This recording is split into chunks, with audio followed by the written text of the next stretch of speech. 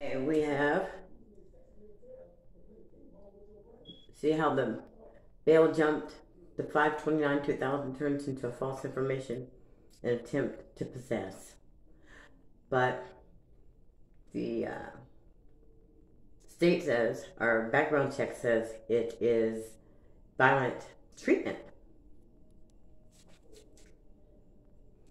So what they do is they take data already in progress and they enter um, the description differently.